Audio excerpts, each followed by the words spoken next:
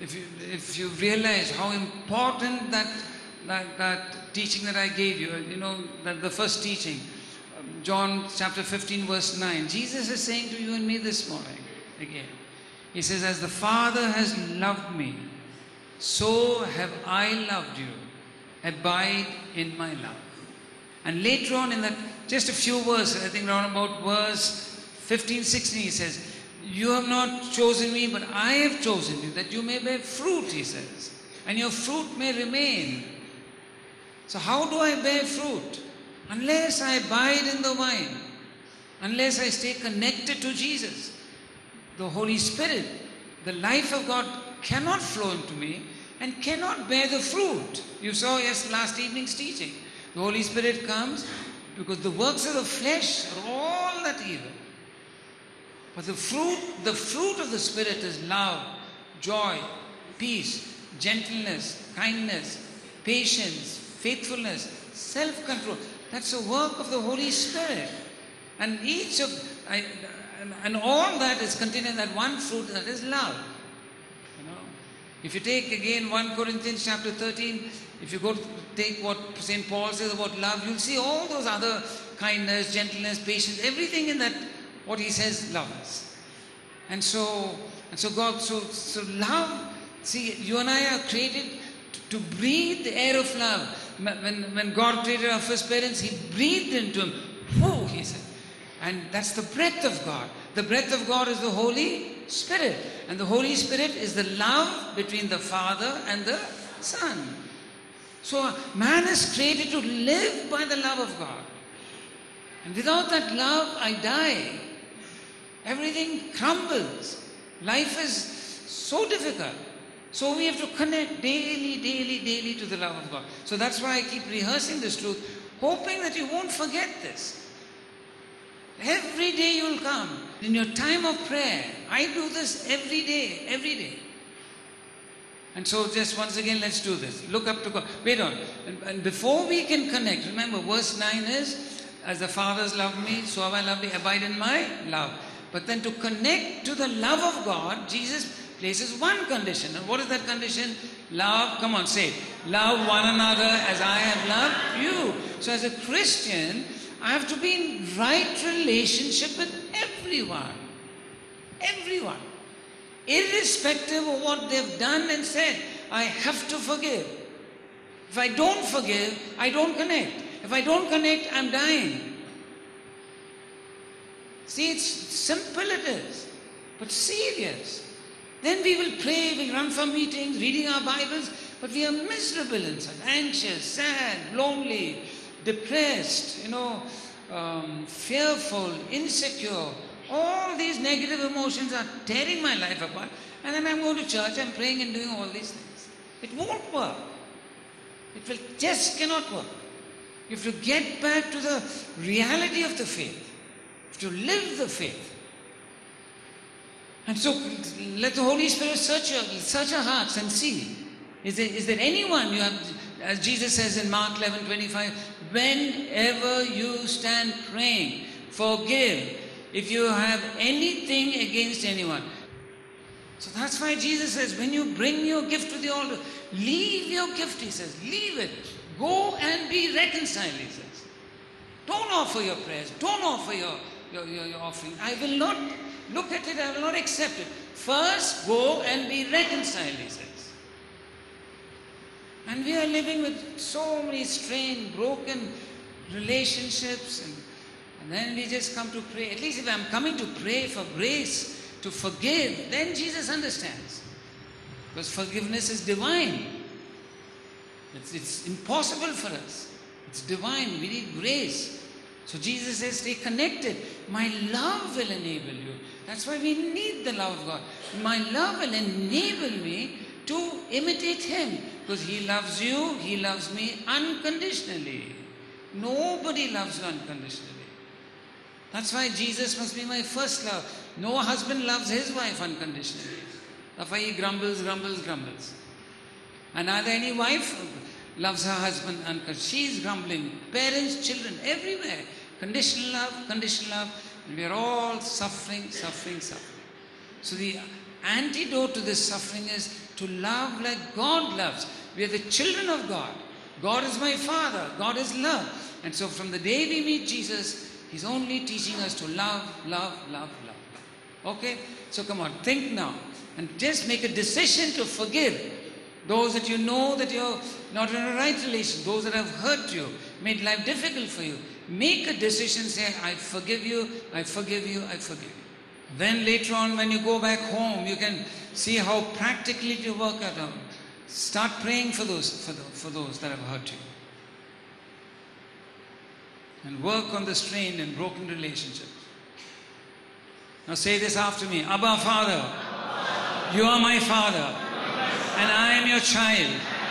And every facet of my life, even a hair on my head, is taken into account by your loving, caring, healing, freeing, providing, and sanctifying love. I have nothing to be anxious about. Every detail of my life is taken into account, and no power on earth can come against your holy will, your plan in my life. I abandon my life to you, and I trust in your love and care, and find my rest and peace in you alone. Now come deep down, take on the attitude of a little child. One more thing, sisters and brothers. In, when I gave you that teaching on sin and how to come out of sin, as I said, we have such a deadly, frightening, horrifying disease within you and me, and that is, come on, that is sin. That is, and listen, it's so deadly that it has taken the life of God to save me from it. Such a deadly sin, such a deadly disease. It's taken nothing less than the life of Jesus to free me from its deception, from, from its control, from its slavery, from its captivity, from its horrifying effects. And so, if I take my walk with God seriously, immediately I'll come to realize where there is sin in my life, what is keeping me from God. And so I have to tirelessly come to Jesus day after day, day after day, day after day. And that's why I even explained to you that that's what the Eucharist is all about. Jesus comes to you and me in the Eucharist to heal me and to free me from sin. So every day you must come to Jesus to come out of sin. And this will happen to you. You will, you will come face to face with this tragedy in our lives and, and turn to Jesus, provided, I believe this, provided on one condition that my life is surrendered.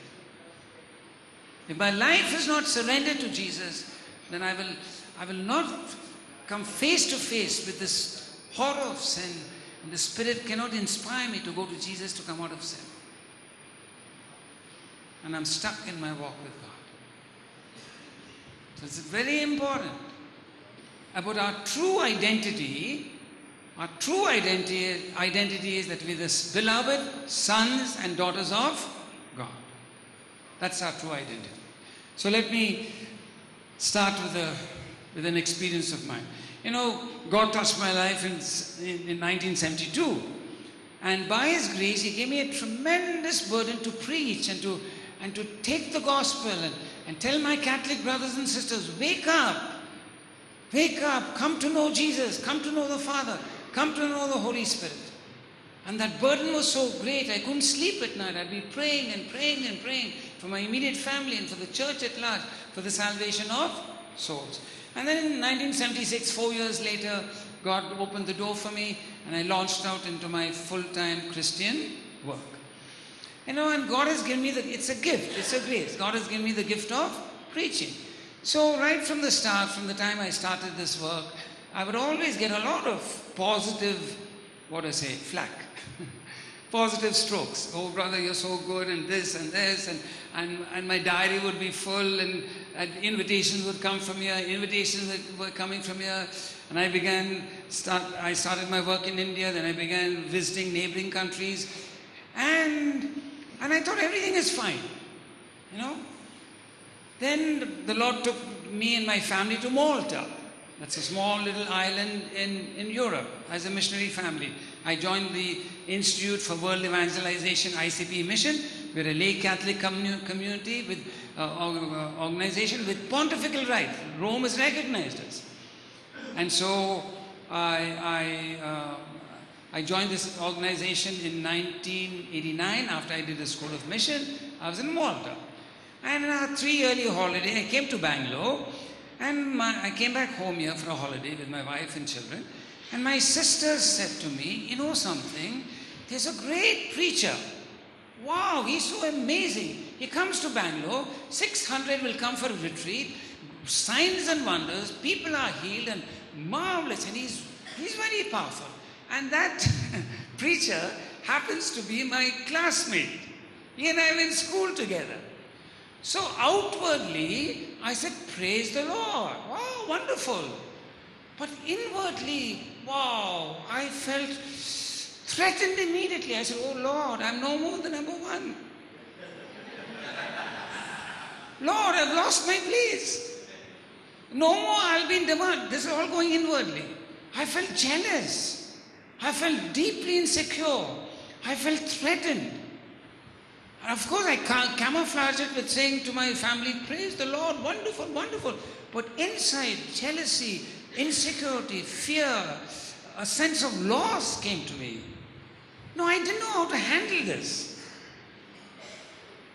So I said to myself in my mind, okay, I'm here in Bangalore for, for, for a month's holiday. I'm going back to Europe. Who cares? Let him come here, let him preach. It doesn't affect me. I'm in another part of the world. Now that's the escape route I took. But that's not the answer. I didn't know better. So I said, let him come, let him preach, let him be great, but it doesn't affect me. I'm in another continent. You follow what I'm saying? But that's why I say to you, if you don't surrender your will to God, you will get stuck. God is Father. God knows now the, the, the terrible mistake that I'm making, that I'm finding my identity in what I do, and I'm not rooted in my true identity as a son, uh, beloved of the Father. I don't know this.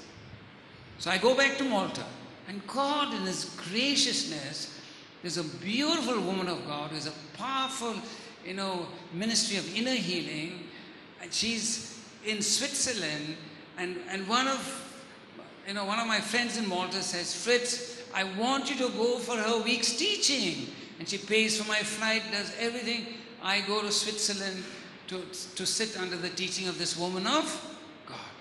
And then, as I sit and listen to her, I said, Wow, I found my answer. I realized the tragic mistake I'm making, finding my identity in what I do and who I am. And from that day, and she teaches beautifully, and she says, because of sin, we're all bent towards the creature, towards creation. I'll explain that more clearly to you. So we have to straighten up. And I realized I was bent towards my ministry to tell me who I am. So when I when I found out that there was someone more powerful or more, you know, anointed by God, I felt terribly insecure, jealous, fearful, that I even said, Oh my God, will I be in demand? Will people call me to preach here? So from that day onwards, that's why you see, when God gives you these keys, if, if we are in the Spirit, we allow God to be God, God will speak strongly and says, Fritz, here is a medication. Take this medication for this frightening disease in your life. And by the grace of God, by the Holy Spirit, you will take this medication day after day, day after day, day after day. So every day from that, that day onwards, when I heard this, I would bend to the right. and I, I'm very simple. I would bend to the right and say, Lord, I confess my false source of identity, that I'm finding my identity in, in, in what I do, in my preaching ministry. I confess it as sin. I say no to it. Please forgive me. And then I would straighten up and I'll pray to the Father and say, Abba, Father, you are my Father, I'm your Son. This is my true identity. I am your Son, Father. And, and, as, I- and as I reflected on it, you see, a little child is totally free to be himself. No, he's not aware of what people think and people. He doesn't bother. All that matters is I'm in, pres- in the presence of Daddy. Daddy loves me just as I am, and I can be free, like Jesus. I'll, I'll, I'll show you. So, so I looked up and I said, and I long to be that I forget everything, everyone, and I say I receive the freedom to live the life of a son of God. I receive it, Father, because that's who I truly am. And Father, I long to be like your son Jesus, who was totally free to be himself. And then in deep silence, I, I, I contemplate this divine reality, this divine truth that God is my Father and I am His Son. Every day for the next, even now. Now, God knew maybe two, three years later, He was bringing me back to India.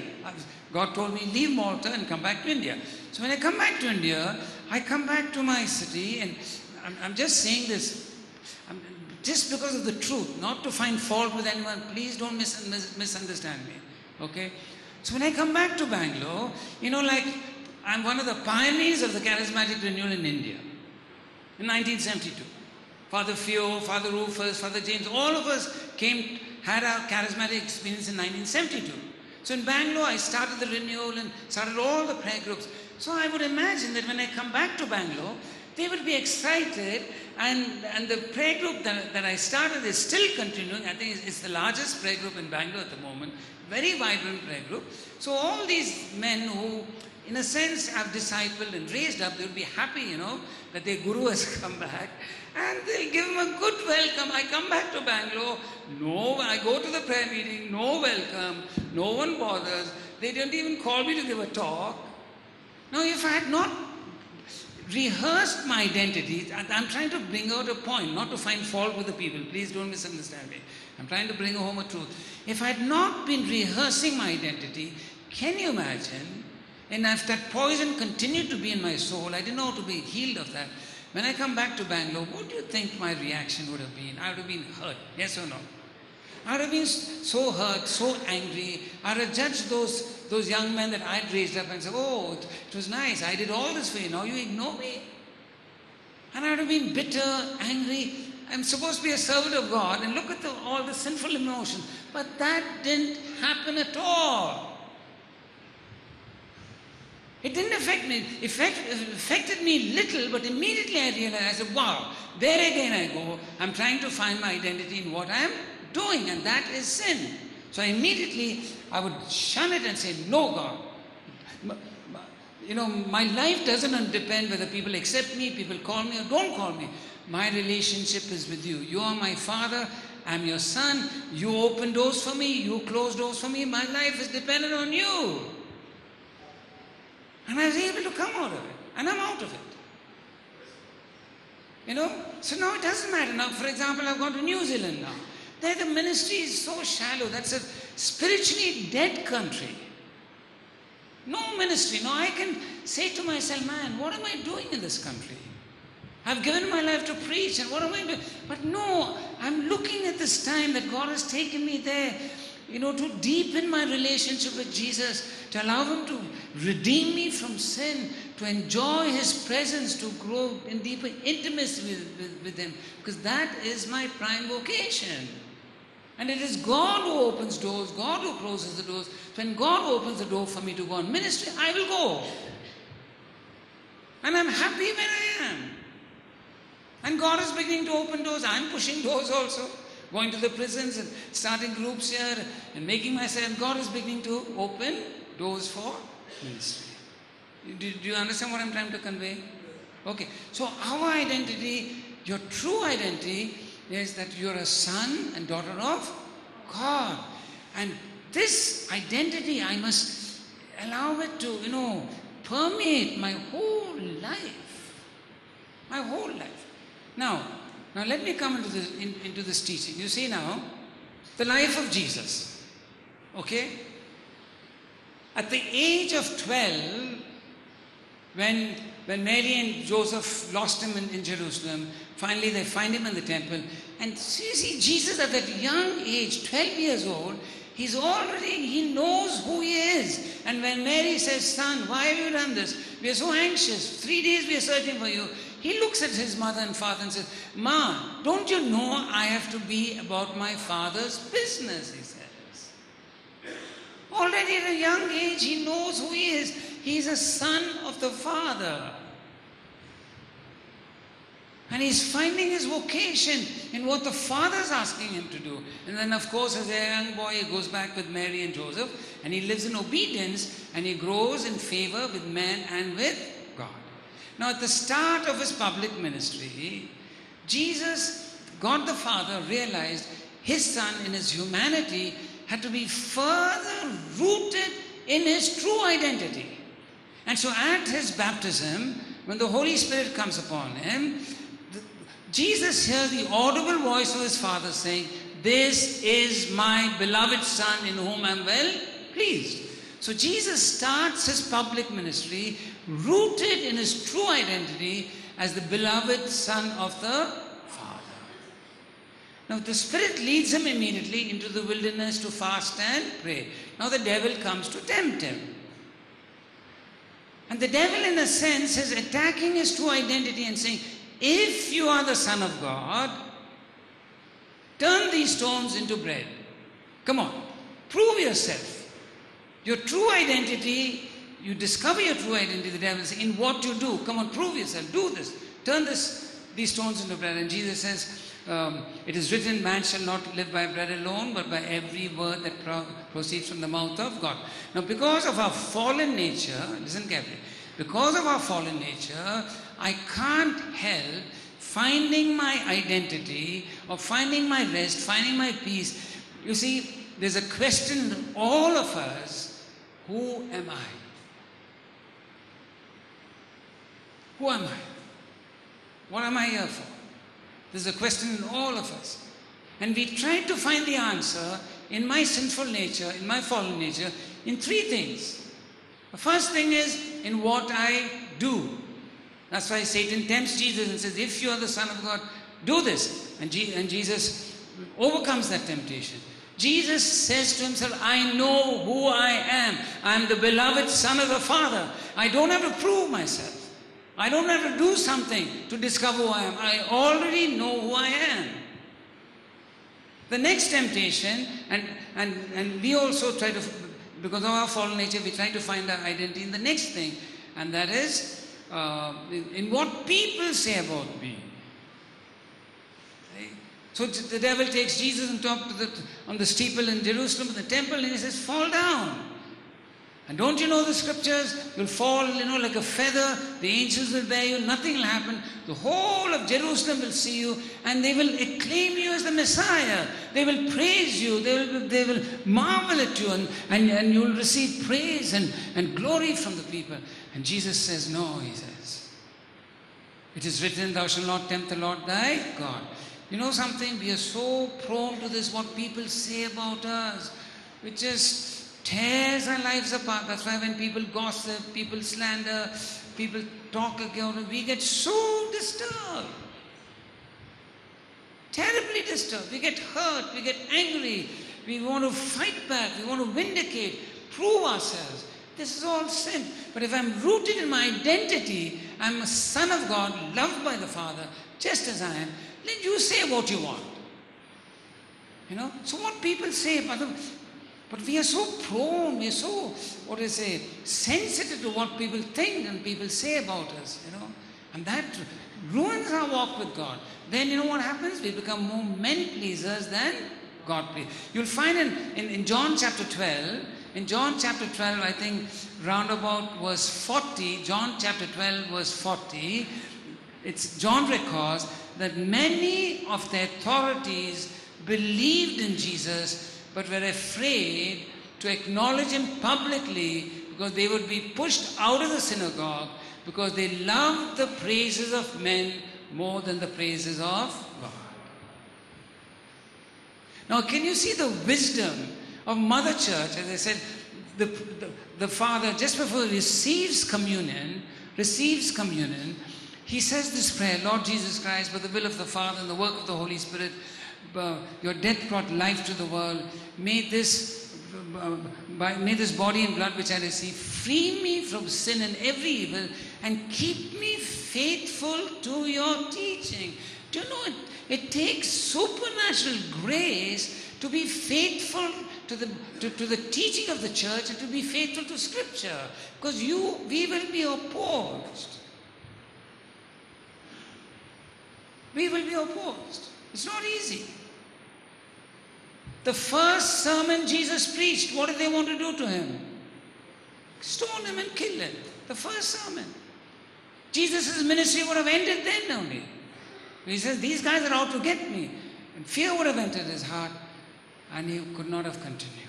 But he was rooted in his identity, so rooted in his father's love, in divine providence. He says, My father, you are my father, I'm your son. Nothing can come my way without your permission. And if it's your will for me to be stoned, so be it. And they couldn't touch him. And so St. John will continue writing about Jesus. There were so many attempts on his life because of what he did and what he, what he said. His hour had not come. His hour had not come. His hour had not come. And finally, at the Last Supper, John will say, Now the hour has come.